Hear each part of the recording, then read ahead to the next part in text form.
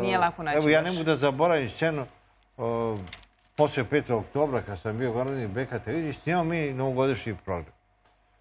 Ja sam čuo da Sergej i jedan njegov prijatelj Kapor, glumac iz Novog Sada, često imitiraju Slobodana Miloševića i Đinđića u kafanama.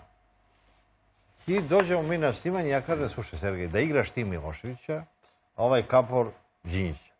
I mi napravimo za novoći bez teksta, niko nije napisao tekst. Ni ja, ni, ni bio kakav scenarist.